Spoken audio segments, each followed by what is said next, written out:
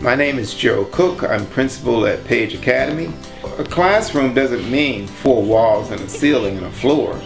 Classroom could be uh, at the swimming pool, it could be at the Museum of Science, at the Children's Museum, at the Art Museum.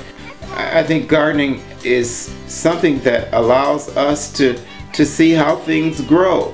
Uh, something starts from a small seed, small seed, and then it grows into a big plant. That's what we are. We start from a small seed and we grow into who we are. As we develop, we develop. As we unfold, we unfold. As time goes by, you see changes in us. Gardening is very important in the cycle uh, of, of life. Once they realize that there's something that's living, there's a living, living organism in the soil, they take time to look at it. They take time to appreciate it.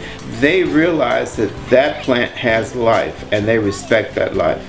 And I think it's important that in the cycle of life that we understand the things that we eat and where they come from and the relationship between us and them and the world in which we live.